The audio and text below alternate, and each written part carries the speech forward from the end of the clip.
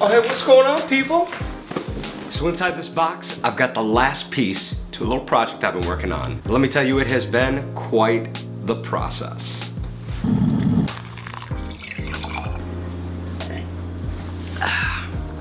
So as my home studio has evolved, and I've invested in new gear, what was once completely functional has kind of turned completely so I decided that it was time to make better use of my space, starting with probably the most important piece to the workflow, the desk. I started searching through the internet trying to find a solution to pretty much two problems. One problem being I needed to find a solution for my outboard gear. I don't have the space in my studio for the large outboard rack that sits under my desk. It's been fine up until now, but it would be nice to be able to sit at a desk and put my legs underneath it. My second issue was that I needed something just a little bit taller, a little more ergonomic. I didn't want to be hunched over for several hours a day working at my desk. To make a really long story short, I spent about a month looking at everything from music production desks to IKEA desks to IKEA hack desks. Is that, is that right? Anyway, I could not find something that suited my needs and fit my space and fit my budget. And I feel like that shouldn't be too much to ask. So I started playing around with the idea of building my own desk. And to be honest with you, it kind of started out as a pipe dream. I really didn't think I was gonna go through with it. I just said, hmm, what would my perfect desk look like? So with a little bit of Pinterest inspiration and some thorough measurements, I had designed this perfect desk.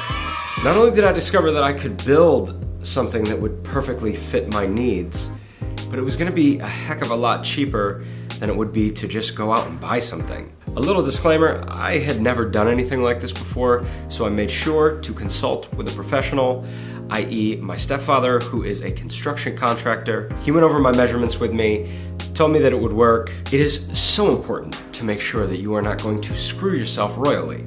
So that's what I did. Never be ashamed to ask for help. My stepfather was generous enough to help me put the top of the desk together, and thank God for that, because I definitely would have screwed something up. We put the desk top together using entirely oak plywood and then some one and a half inch oak pieces for the trim. The desk did look pretty cool, natural and unfinished, but I did decide to go with a light stain and a poly finish. As I'm sure you could tell, this process took about two days, and I was very high off fumes because I did this in my apartment. I don't know if that's being resourceful or just really, really dumb. But anyway, next I went down to a local hardware store in my neighborhood, got some three quarter inch black plumbing pipe cut, the frame is pretty simple, it's just four legs on each corner of the desk with a support bar running across the sides and the back of the desk. I fasten the legs to the desk using pipe flanges, and I also use pipe flanges for the feet as well. But enough chatting, let's go back to my studio and check out this new desk.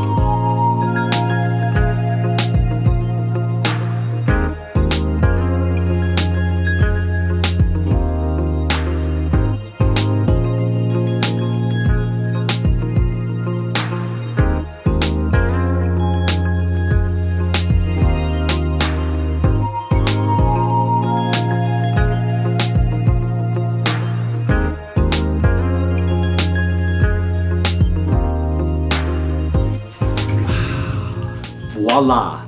Guys, I'm so pleased to finally be able to show this to you. My brand new studio desk. I could not be happier with how this project turned out and I gotta be honest, there were some times where I did not think this was ever gonna come together. So let's get right into it. Let me give you a full rundown of the entire setup. The final dimensions of the desk are 63 and a quarter inches wide, 33 inches tall, and 23 and a half inches deep.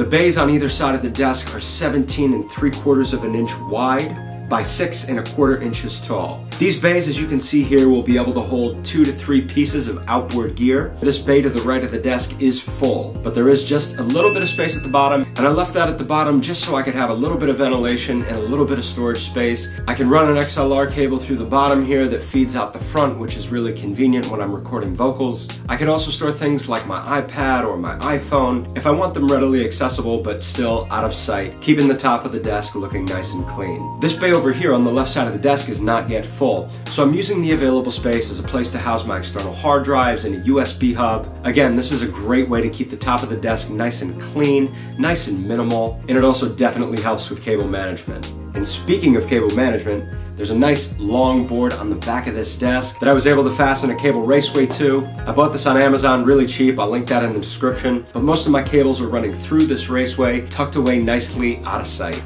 Initially, I had also planned to fasten the power strip to the back of the desk, but it would have required me to pull my desk out farther from the wall than I want, so I simply fastened the power strip to the bottom of the desk, and as you can see, I'm able to run any necessary cables along the legs of the desk, fastened with this. Velcro cable ties.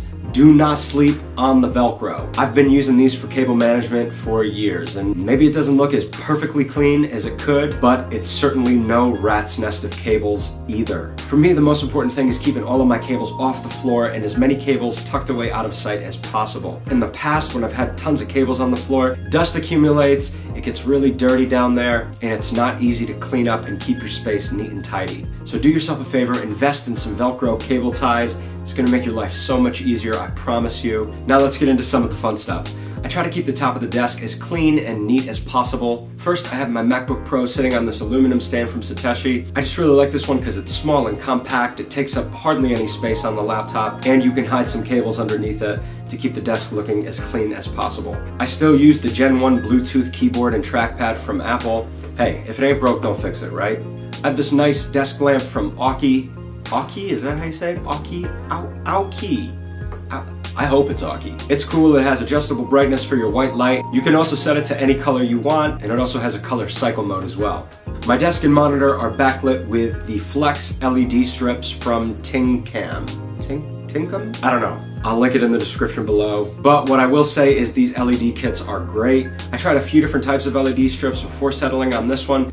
And why I like this kit so much is because in addition to all of the presets that they give you, you can dial in custom colors and save them as presets. Now for me, a side note, I'm somebody who really cares about white light temperature. Anybody who shoots video, you know what I'm talking about. Both of the lamps and the overhead light in my studio are hooked up with the Philips Hue White Ambiance Kit. It allows you to dial in the perfect temperature of white light for your preference, which I really like. That being said, if I've got all of the white lights in the studio set to a specific temperature, but the LEDs are set to a completely different temperature, it's gonna look terrible, especially when shooting video. Guys, look, for most of you, this probably is complete overkill, and I probably seem like a little bit of a psychopath right now.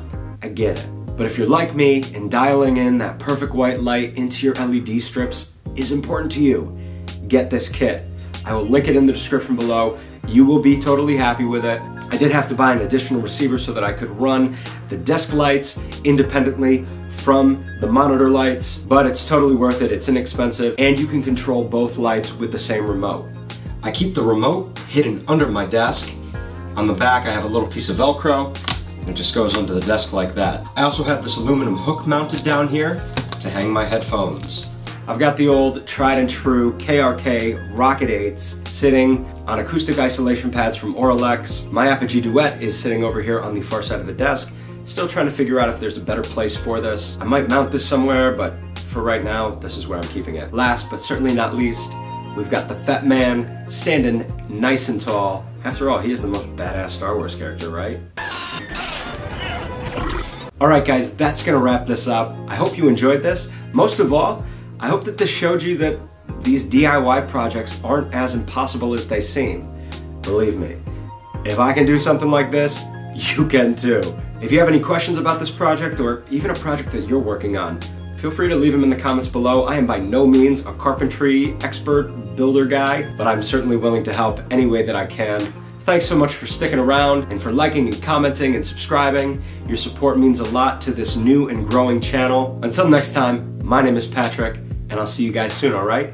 Peace. Ting Cam. Ting Tinkum? Ting Cam. Ting Ting Tinkum. Ting Cam. I don't know. Tink, Tinkam? Tinkum.